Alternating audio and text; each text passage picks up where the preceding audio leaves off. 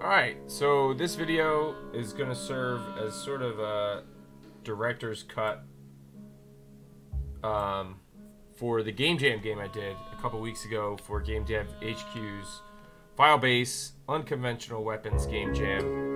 Um, I just wanted to put a video together to kind of talk about some of the things that I did in in the game. So, um, like it says down here, uh, all all the game was created in nine or ten days, uh, beginning of April and March, and all assets except the sound are from Game Dev HQ's Filebase. The sound, the voice acting, voice acting uh, was me, and then the uh, music and a couple other random sound effects were from some assets from the Unity asset store. So uh, let's get right into the game here. I'm gonna hit start game. I did want to do like a cutscene before here, this all started, they called me crazy for but it just ended up being like a little bit of paper. a, But once shit went down, a voice what was the first thing off the shelves? That's right, that sweet TP. Sweet TP. I've been hiding out here for years, keeping my behind clean. Looks like they finally found me. This dude is the king of TP. They Coming finally for my found TP. Coming for my There's only TP. one thing to do, and that's clean house. So we got some render get my gear textures here. together and head out. I used to make Half-Life maps, and I always thought it'd be cool to have like videos like this. In Half-Life, you'd have to like hit the E button, and like it would take your whole screen and make that the camera. Um, so it's really cool, Huh. just to be able to like have have a texture on a monitor like that that actually shows a you know a camera from like another room in the level. Um, so I definitely appreciate that. Uh, and then this is just the dude's bunker. We got TP around, you know, little kitchen, little little table, uh, some more supplies, some more TP. So one of the things I liked is how I was able to get like player messages into the game, especially within like a week, like I did. Um, I felt like this came out as like a pretty complete game, and and one of the things you could do is like walk up here and he'll be like, he doesn't say anything. I didn't get that far with the sound, but it does say press E to open the box, which I think is cool. Um, so we'll get the ammo there. And then if you walk over here and try to leave early, Need to get my gear. It actually says a little Need to get my little voice line and says gather your Need to gear get my first. So. I gotta go grab these guns first, and then it'll let me actually open the door. So stuff like that I think was pretty cool to get into a game jam game because I, I I don't think that's like a normal thing for a lot of games. so we got our toilet paper, rocket launcher. It's very janky, and the zombies in general are very janky. We also have our soap gun here.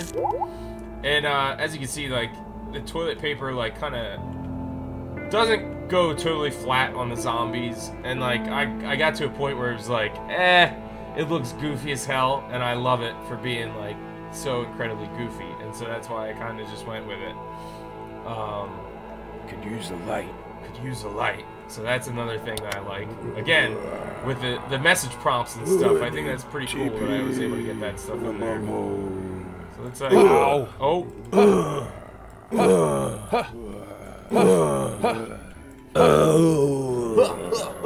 So this is me. The zombies are me. Uh, all that was was my voice. Um, like I said, I got the flashlight on here, so the whole rest of this level is just dark. Like I don't think you could possibly. Well, you can see it a little bit, I guess. But it's like there's no light for the rest of the level. You can see it a little bit right there. I, think as you get further in, it probably gets completely dark. Uh, but yeah, again, the toilet paper and and there was the uh, the little cardboard tubes too, which I liked. So the toilet paper like explodes the cardboard tubes. I mean, I I think it came out pretty cool. toilet paper flying everywhere, cardboard tubes. The toilet paper is actually little uh, models of the towels from the bathroom props from Game Dev HQ. So uh, let's go to our soap gun here. Soap gun. I got little bubbles coming off. Like I, the soap gun kind of sucks. I freely admit that it's not. It's not the greatest uh, weapon. Toilet paper gun came out pretty cool. Um, and then in here I have the little skeletons and stuff. I thought this whole area came out pretty neat. For my. I do love that. so it's seven hits to kill a zombie. I think to kill the zombies and the drones in the second level, I think it's seven hits for everything. Uh, at least with the toilet paper. With the soap gun, I think it would actually be like, um, I think it would be what 33 hits or something like that. I think it only does three health damage each time you hit him with the soap gun. It is a lot faster than the other gun. Maybe it's not three. I don't remember what I had the, the, the health, the damage set set for for that. And so you, you can shift to run as well in this game. Um, I probably should have just made that the default running speed because in the second level and on the boss fight, you, it definitely helps to shift and to sprint a lot. Like otherwise, it doesn't really make a difference to the game. So I kind of should have just made it the walking speed just a little bit faster than it is, and just took out the ability to sprint at all. But uh, whatever. So we keep going around this little crypt here. Uh, now, as you can see, this part, um, because like my level was like completely off. Oh, you can see a little flickering there too. I did a pretty good job getting. Uh, well, there's some more flickering. I thought I did a pretty good job getting some of the flickering gone. There's a ton of it now that I'm looking at this. But uh, since the light's on and everything, I think you generally don't notice it much unless you're looking for it. Like right now, I'm looking for it, so. Um, but I actually haven't noticed a lot of this flickering before now, so that's kind of interesting, actually. Oh, there's some there too. Wow. Wow, flickering all over the place. But one of the things I ran into was like I made this whole other part of the catacombs down this way. And then, and and I also made the the little boss area in here that I'm gonna go go into in a second. I made them both kind of at the same time, but I didn't have them attached to each other. And so when I went to attach them here, I like you could see this this walkway is kind of like crooked a little bit. So I, don't- I don't know. I just thought that was uh. I, I mean, it works well enough. This part is like obviously kind of a glaring issue, but again, if you're just like walking through and just a player, you probably wouldn't even notice that. You know, you probably just director's cut, so that's the kind of stuff you see.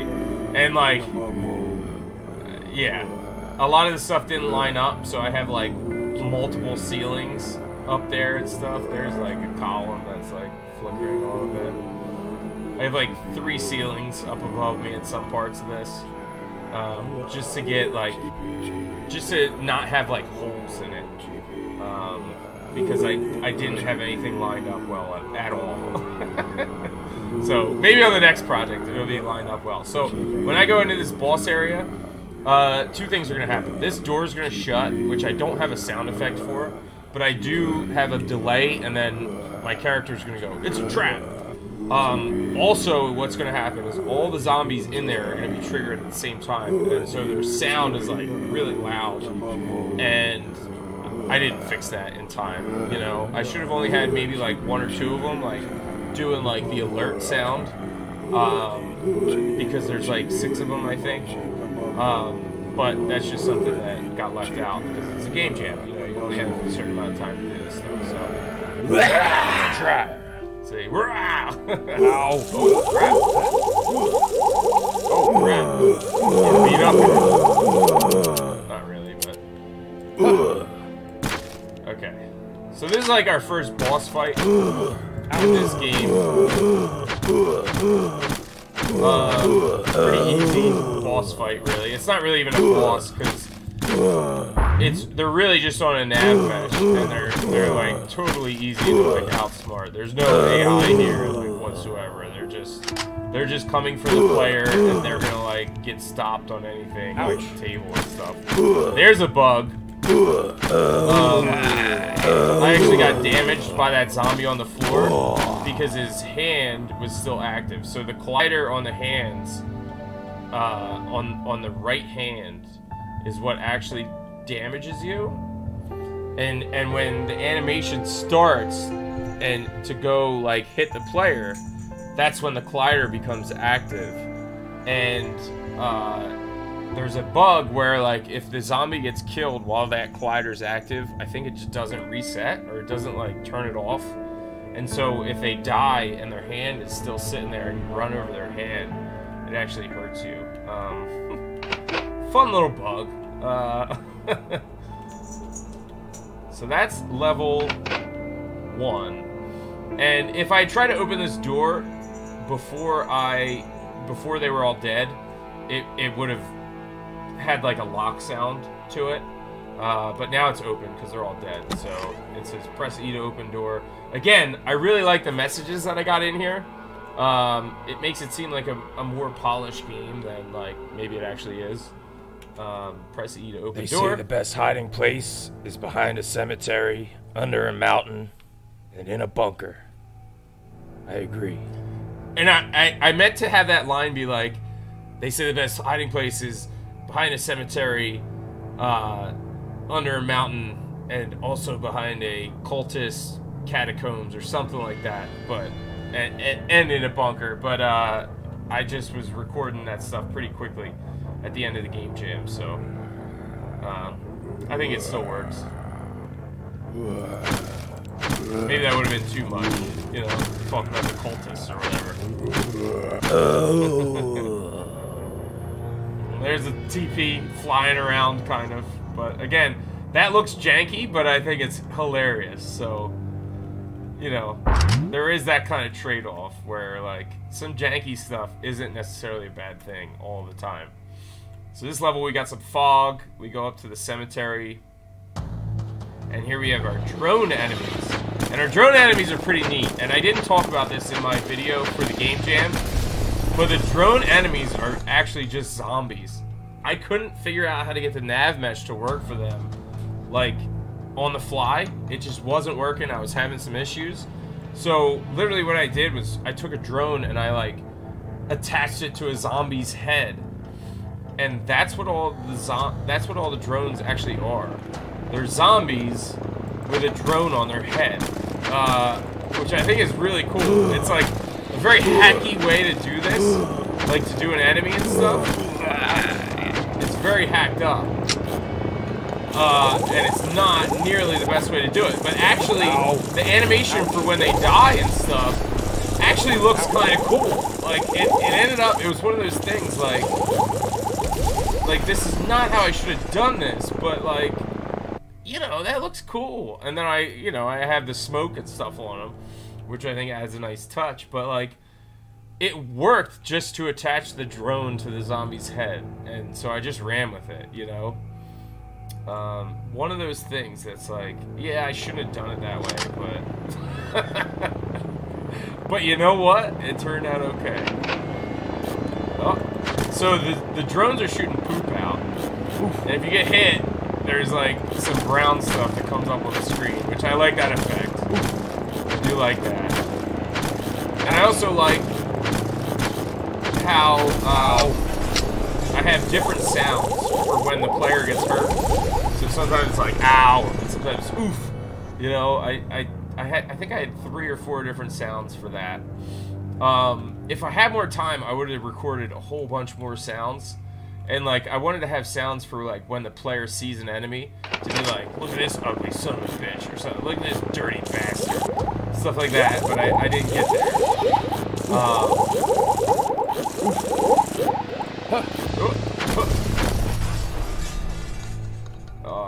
turds go? I do. oh, that's the, the toilet paper. But I do like the little turds rolling around after they shoot them out. and there's our other um, on the rocket launcher. I didn't show this earlier, but that's our other like render texture there, which again, coming from like doing Half-Life level design back in the day, um, it's really cool to be able to do that kind of thing. Alright, so I just like threw threw that on there. It's like completely worthless, completely useless, but pretty cool. Uh, actually, before we go get the key, let's go down to the cemetery gate, right? So. Oh, I'm running out of health too. I'm actually dying here. 16 health. I think there's health over here. Yes. Here comes another drone. Kill this drone. One of the other things I like about the drones is that they shoot the poop out you, sometimes the toilet paper hits the poop in midair, and they just kind of like explode in midair. So you'll like shoot at them, and they won't, you won't hurt them, and they won't hurt you. And like, I think that's just such a perfect like uh, cool thing because I didn't like mean to do that, but that's just kind of how it turned out. And obviously, if you're just throwing like physics objects at each other, like obviously that's like the expected result. As, as an amateur game developer, it wasn't something that I really expected. It was like a happy accident, you know. So if we come down here first, which I thought maybe that's the, what the player would do. I wasn't really sure, but if you come down here first before getting the key, again, I have like a whole message system, which again, I'm really proud of this. Like, it doesn't seem like much, but I thought that was cool, and like, and the sound, you know, and I I would have probably had the player actually say something, um, but I, you know, again, ran out of time for something like that. But then we run up here, so there's all these like little crypts and stuff. But then up here is supposed to be like the the grave diggers uh, like shack, basically. That's why we have a couple of shovels here. I didn't really dress it up any more than that. I was running out of time, you know. You gotta do what you can do. And then the key is pretty cool too. So I don't have the key yet. Um, actually, when I get, let me. Uh, change my thing. Let me move myself over here. So, when I get the key, you'll see above the health, a little key will appear, which I thought was pretty cool. pretty cool. So now I know I have the key, you know? And it, it it's cool that it, like, it, it kind of goes with the lighting and stuff. Like, I, I just think that's a cool way to do, like, a little item pickup, especially, like, a key, you know? Um, it probably could have been a little bit better, but I think that was that was pretty sweet. So we walk up here, door opens automatically, key disappears. I, I like that. I like how that turned out. Um, and so we leave the cemetery. And now we come to the road, which this part of the game was admittedly pretty rushed. It's literally just a bunch of cars on the road with, like, inside a canyon, basically so that you can't really go too far, you know?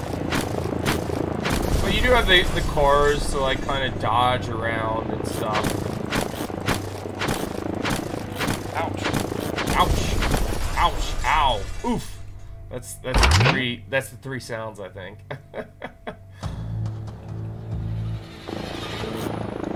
just a little car area. I think this could have been maybe a little bit shorter. I don't know. Um, it would have also helped if like, if like the AI and stuff was better.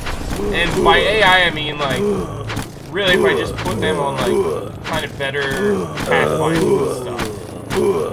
I think it would have made a big difference. But, it's not horrible the way it is right now.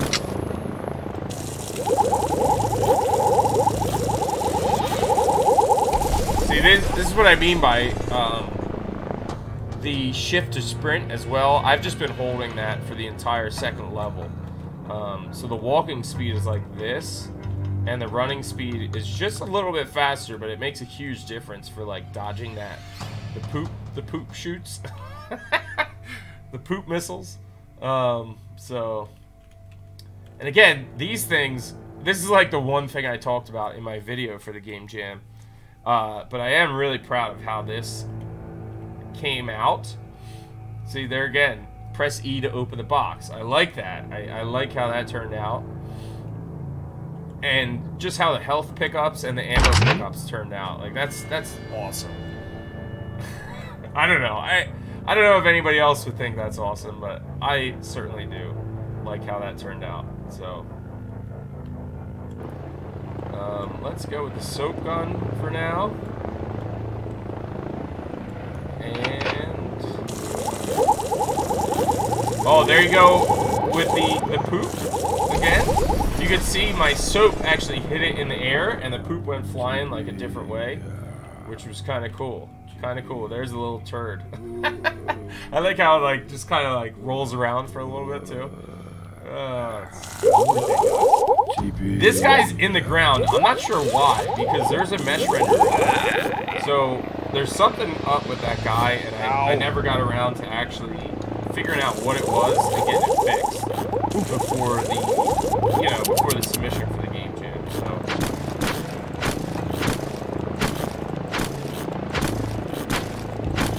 Oh, there was a nice, right out of the sky. Hit that poop right out of the sky.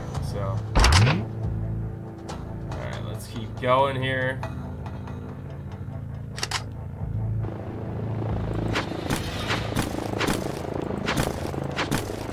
I don't know if I just hit the car a couple times there. Probably did. I think they're box colliders on the cars. Which maybe is less than ideal. Um, but I tell you what, the drones look cool though. For being a drone attached to a zombie, like it turns out, it turned out pretty well. I should have mentioned that in my uh, devlog. Because that was one of the coolest things that I ended up doing. Even though it's like completely like a hack job. What I did. Not what you're supposed to do, but like they actually turned out really well for how I did that. Like I would not expect it to look as good as it does. Know, doing it. Like look at how that drone fell out of the sky. It was like it was nice. It's pretty good. Alright. We got I think that's everybody now. So now this is the end of the level. One of the things that I didn't get a chance to do, which has worried me when I've like sent this around for playtesting, and right now I have 100 health, so it wouldn't be a big deal. But like, I did make this message come up, but it only comes up after two seconds. So it says make sure you're ready. But like, if somebody was like having trouble with the rest of the level, and then they didn't come and get like the health here or the health, there's health right around here, you know? But if they didn't come and get this, then when they get into the boss, they're pretty much screwed. I mean, you could beat the boss without getting without getting hurt. It's not like that crazy of a uh, of a boss fight, but it's it's gonna be pretty difficult. Like I, I've had trouble with the boss fight at, at times. Like I get killed sometimes, like ridiculously. Um, but that was something I worried about, and like maybe I should have had like a like are you sure you want to go or something like that and make this pop this message pop up like right away but again you know it's it's a game made within like nine or ten days so you know you can't really get everything done but it's something that i'm gonna like think about in the future especially like when you want to go to a boss fight like i could have put health pickups in the boss fight as well and i thought about doing that but i, I didn't i didn't actually do that so um you kind of have to go in with with 100 health or you're kind of screwed. The other thing I thought about is like maybe if if you die on the boss, then maybe you could you would have like a restart button that says like restart with full health, which you know, like maybe if you die like two or three times, you know, you have like a counter going, and then if you die two or three times, then that button comes up like restart with full health. Um, I don't know. There's a couple different ways you could solve that, but I just didn't solve that at all for this for this game. But next time, maybe I will. Look at this big bastard. Time to take it to him. Oof. Oh, oh, got me right in the right in the face with that turret gun. So this boss fight is kind of cool. I thought I did this in like a day, and it's really just like I don't know six or seven waypoints, and the boss just kind of flies around the six or seven waypoints around this little area where his like hangar is. Um, and I was gonna have a whole story about how this was like uh, the main character's neighbor and like how they talked on the on the on the walkie-talkies all the time and how they were good buddies and the neighbor like betrayed him because he needed like toilet paper or something.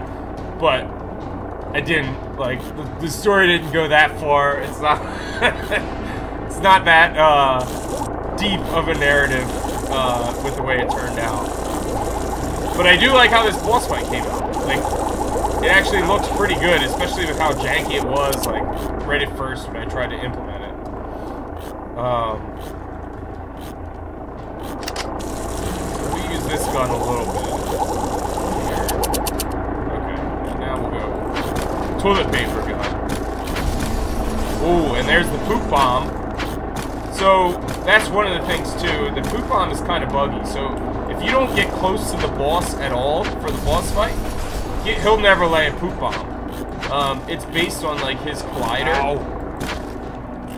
But I think once once you hit the collider, he drops it every 10 seconds. So I think, even, like I think I I would like to fix that so that he just starts dropping them automatically, and that you don't have to like actually activate the poop bombs. Um, or it could be one of those things like when you hurt the boss enough, then may maybe he starts doing the poop bombs like after he's like halfway down on health or something. That would be kind of cool. But again, I, I don't know how much I really want to put into like polishing this game up or anything. But I, I think it came out pretty good for like nine or ten days. And like I would like to get it at least into a little bit better state than it actually is right now. I was thinking about converting it to HDRP. I don't know if I want to go through all that. I, I did sort of convert it, but like some of the stuff isn't working that well. Uh, like the toilet paper. Um, so I might just leave it as it is and just fix some of the bugs. And then maybe like put it out on like itch or something like that. Oh man, I'm getting messed up here. I might die here. Like again, so I'm down to 27 health. I'm the developer of this game. Um, you know, if you don't go into this fight with full health, you can easily get killed. Easily. I mean, you can get killed real quick. You you can get you you can get through this fight without getting hurt at all, but oh, there we go, and that's the end. And I love this effect that I was able to accomplish. And just here. like that, it was over. In one big glorious explosion of toilet paper. I closed my eyes, and when I came to, it wasn't the year 2042 like I thought. It was the year 2020, and I was stuck in quarantine because of the COVID 19 virus. It was all a silly dream. I know that sounds like a cop out, and well, it is. Thanks for playing. So that effect is definitely inspired by Half-Life 2 and the end of Half-Life 2. If you've ever played that, um, I love how it came out though, and I got that done really quick. Like that did not take long at all. You know, it was just a matter of uh, taking time time scale down to 0.01 or 0.001 or something like that. Um, and it, it came out so cool. Especially like that wasn't maybe the best angle to to kill the boss at. Um, if you're like if he's like right in your face, then you see the whole explosion like going. Uh, and and the toilet paper can be like flying off, and that'll go all like in slow motion and stuff. I really love how that came out, and uh, so that's really the reason I'm making this video is to show off that effect a little bit. Maybe I'll, I'll, I'll make another video of just that effect of like a, a good shot of it. But um, that's this game. You know, I, I did want to do like a little playthrough and just kind of show it off and kind of comment on some of the different stuff that I went through uh, developing it and, and some of the different stuff that I'm I'm pretty proud of for for doing this game and like you know a, a, a week or 10 days or whatever it was. So um, that's the game. And then you go back to the main menu, and then if you hit start game, it won't actually start the game again. It bugs out. So, Game Jam game. but anyway, that's it. Uh, I am Mic Reps, and this is my game, The Sanitizer. Uh, I'll be back with a new game pretty soon, probably. So.